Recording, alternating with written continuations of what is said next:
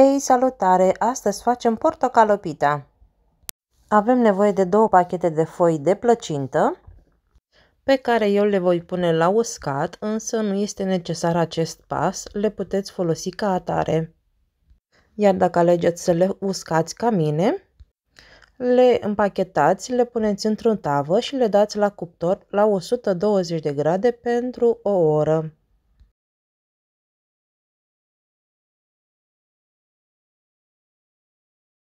Între timp ne ocupăm de compoziție. Avem nevoie de 4 ouă pe care le mixăm foarte bine. Adăugăm 180 de grame de zahăr și le mixăm din nou împreună.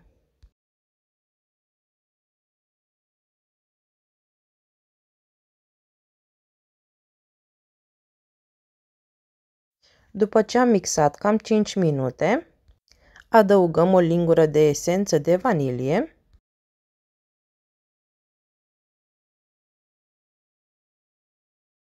coajă rasă de la două portocale,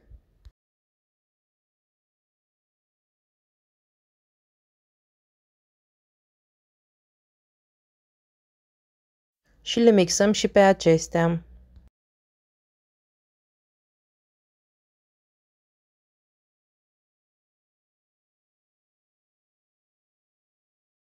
Adăugăm 250 de ml de ulei 2 lingurițe de praf de copt, 300 de grame de iaurt și mixăm din nou până se incorporează toate ingredientele.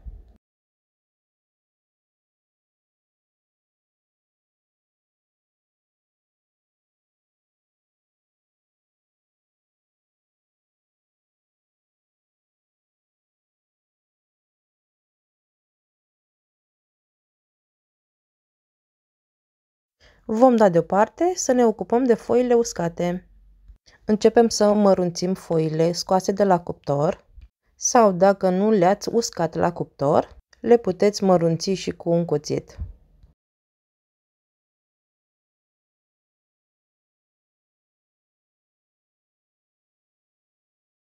Începem să adăugăm foile de plăcintă în compoziția noastră puțin câte puțin până incorporăm tot aluatul de plăcintă.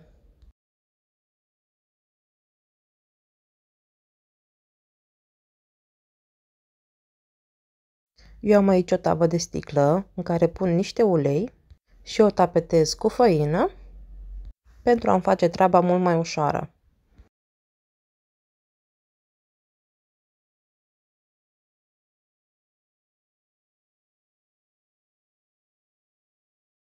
Adaug compoziția mea și o nivelesc foarte frumos.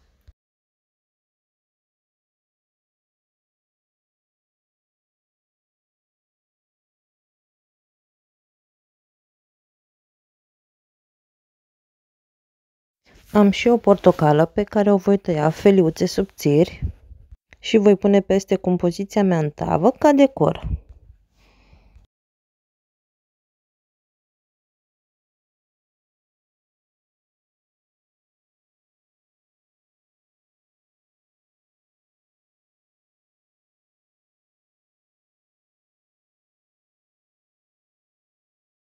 Eu am adăugat și niște mieși de migdale, însă nu este necesar. Vom da prăjitura noastră la cuptor la 180 de grade pentru 40 de minute. Între timp ne ocupăm și de sirop. Avem nevoie de 250 de grame de zahăr, 350 de ml de apă, zeama a 4 portocale, în jur de 250 de ml de suc, 3-4 bețe de scorțișoară și coajă rasă de portocală de la două portocale. Le punem pe toate într-un crăticior și le fierbem pentru 5 minute. Însă până se va coace prăjitura noastră, siropul se va răci. Să aveți grijă să-l încălziți 5 minute înainte de a-l turna peste prăjitură.